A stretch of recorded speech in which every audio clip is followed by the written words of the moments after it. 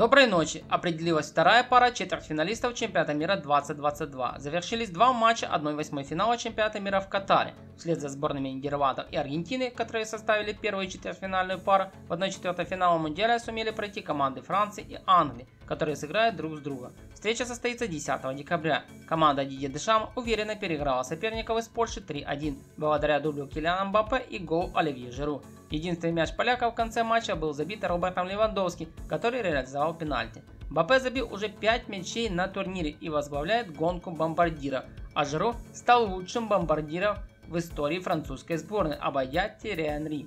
Мяч ворота Польши стал для игрока Милана 52-м в футболке трехцветных. Англичане обыграли команду Сенегала со счетом 3-0. Голы Джордана Хендерсона и Гарри Кейна позволили команде Гаррета Саутгейта к перерыву иметь комфортное преимущество 2-0. Во втором тайме Букайо Сака забил третий гол англичан. Завтра на турнире сыграют в 1-8 Япония, Хорватия, Бразилия, Южная Корея. На этом выпуск подошел к концу. Если вам было интересно и полезно, ставьте класс и подписывайтесь. Услышимся.